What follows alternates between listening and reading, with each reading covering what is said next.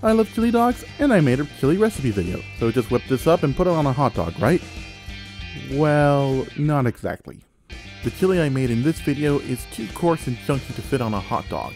And unless you have the unhingeable jaws of a rattlesnake, it's gonna be a little hard to eat.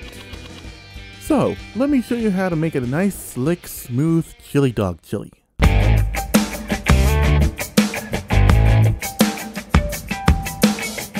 Now to make our hot dog chili, grab one pound of 80-20 ground beef and just dump it into a two quart sauce pot. Then add two and a half cups of water to our pot. Now, using your hands, break up the beef and just emulsify it into the water.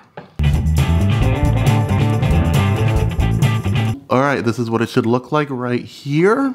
Alright, let's transfer the rest of this to the stove. Okay, we have our chunky beefy slime on the stove. And to that, add one 16 ounce can of tomato sauce. Toss in some water, swirl around to get any excess off.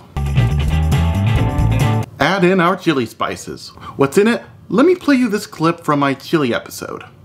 One tablespoon of chili powder. One tablespoon of cumin. A teaspoon and a half of Mexican oregano. Two teaspoons of smoked paprika. A teaspoon and a half of black pepper. Half a tablespoon of garlic powder. And a quarter teaspoon of cayenne pepper.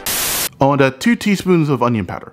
That's the only difference between this chili and the regular chili.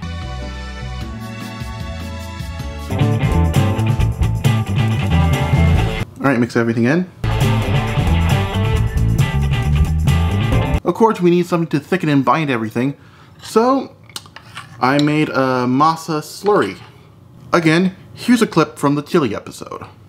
Just take half a cup of masa, add to a bowl, then add enough water until you get something that's the consistency of porridge. Okay, mix it all in. Bring this to a boil over high heat. Okay, once it comes to a boil, reduce the heat down to medium low and let it simmer for 45 minutes.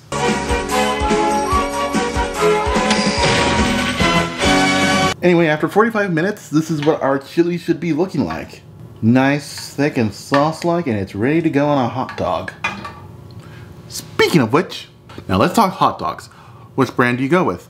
Some prefer Nathan's, others prefer Hebrew Nationals, others prefer the classic Oscar Mayer. To which I have to say, you're a bunch of noobs.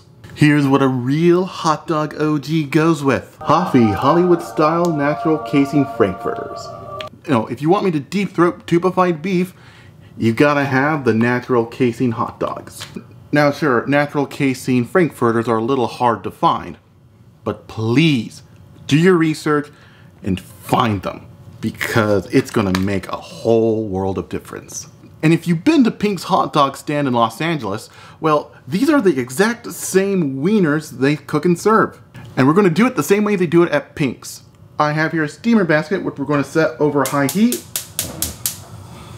Okay, once it comes to a boil, reduce the heat down to medium low. Place in a couple hot dogs.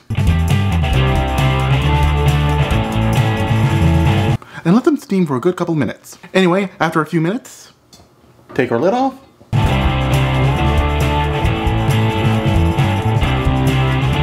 Alright, grab a hot dog bun, hot dog it up, and grab about eh, a spoonful of chili.